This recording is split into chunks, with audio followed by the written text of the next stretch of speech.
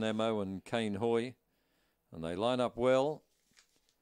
Getting set for the start for race six. The light goes on.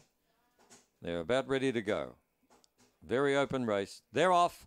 Aston Ammo did beat them out. Going quickly after the start was bit of fun. Railing through on the inside was Victor Kiley putting itself right in the race. Out wider on the track was Spring Lisa. They've opened up a gap then.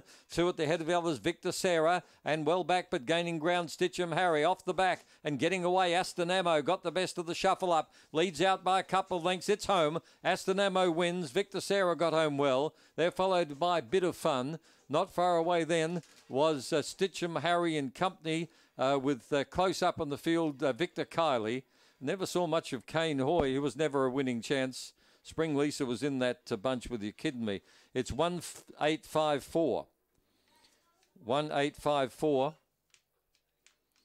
2304.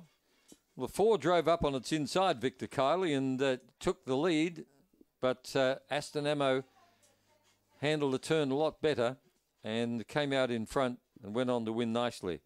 Number one, Aston Ammo first. Second to number eight, Victor Sarah.